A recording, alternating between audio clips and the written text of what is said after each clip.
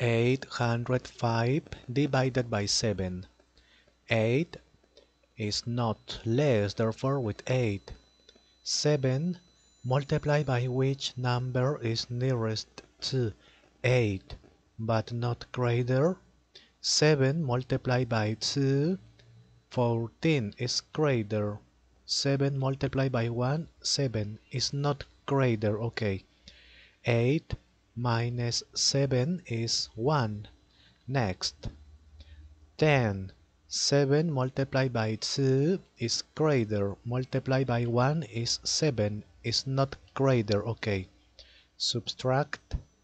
Next, 35. 7 multiplied by 5, 35 is not greater, okay. Subtract. Next, there is not number, therefore finish it.